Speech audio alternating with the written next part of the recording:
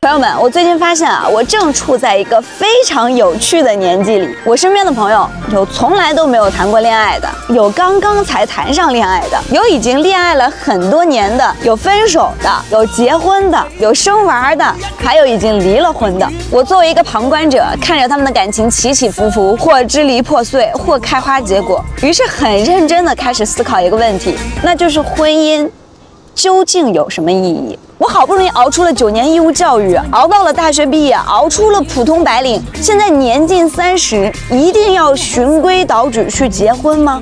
答案是否定的。我现在恋爱谈得很快乐，结婚能让我更快乐吗？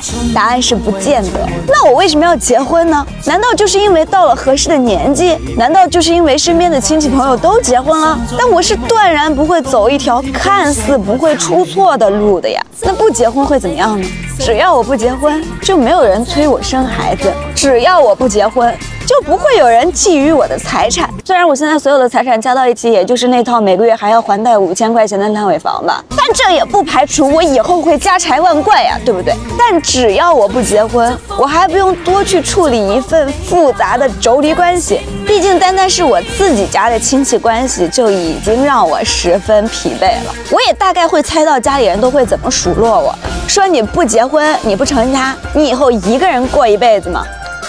就我看到的经验啊，结婚了也不一定有家，不结婚也可以有家。结不结婚跟有没有家，它事实上没有什么必然的因果关系。我这个烂尾楼它能不能交付，才对我有没有家这件事儿有直接的必然关系啊。不结婚呢，它也不意味着我一个人过一辈子呀。我恋爱谈着呢，我对象处着呢，我就去谈一辈子恋爱，有什么问题呢？目前看来，结婚有什么意义这个问题，我实在是答不上来啊。不是说我这辈子就打定主意不结婚了，也不是说我这辈子就打定主意不要孩子。了，但我要的不是你该怎样怎样了，你看别人都怎样怎样了，我要的是我想怎样怎样了，我准备好了要怎样怎样，我对婚姻有期待，我有信心和勇气和另外一个人去面临一个新阶段的未知和可能性了，这才是我坚定选择的，也是我作为一个独立个体